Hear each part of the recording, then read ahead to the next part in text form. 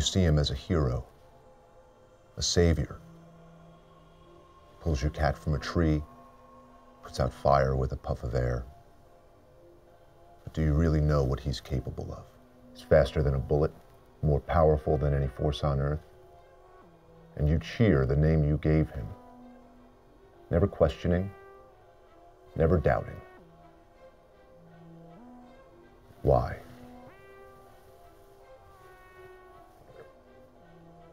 I see him for what he truly is. Your politicians and your leaders are no better.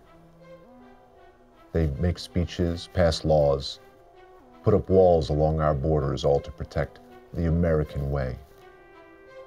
Yet when they invite him to shake hands with our president, the irony is lost on them.